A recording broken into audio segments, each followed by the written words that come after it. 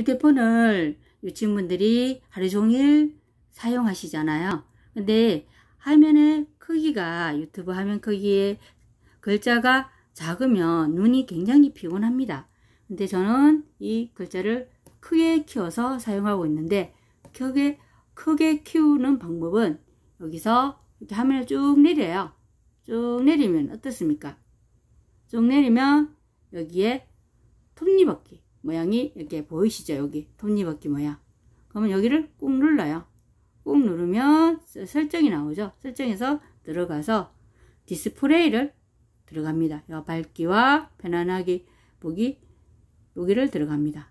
들어가면 밝기 최적화 그 다음에 여기는 보시면 어, 라이트도 있고요. 다크도 있어요. 어둡게.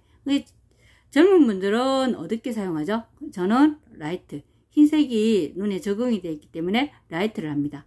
그래서 밝기는 최적화해 놓은 상태에서 여기서 이제 보면 어, 뭐 보통 화면 자동 꺼짐 시간도 이렇게 보시면 15초, 30초, 1분, 2분, 5분, 10분 있잖아요. 저는 10분에 해놨습니다. 그리고 여기에 제일 중요한 거 글자 크기와 스타일 여기를 들어가십시오.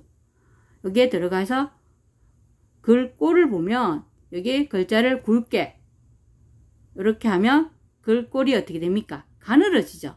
근데 저는 굵게 다시 굵게 바뀌었죠. 굵게 했고 그 다음에 글자 크기에 들어갑니다. 그러면 글자 크기에서 이 바가 움직여져요. 그럼 어떻게 돼요? 발을 옆으로 움직였더니 글자 크기가 작아졌죠. 당장.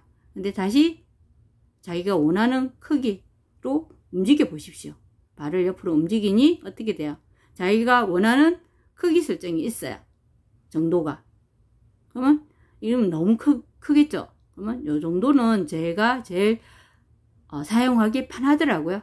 이렇게 해서 놔두면 바로 적용이 다 된 거예요. 이렇게 해서 한번 사용하시면 눈도 덜 피곤하고 확실히 글자가 잘 보입니다.